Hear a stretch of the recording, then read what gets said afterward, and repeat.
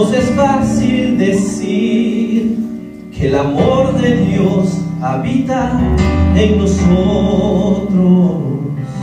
Y no vemos las raíces que están creciendo dentro de nuestro corazón. Y nos volvemos jueces de aquel que falló su error. Porque siempre es más fácil juzgar que amar.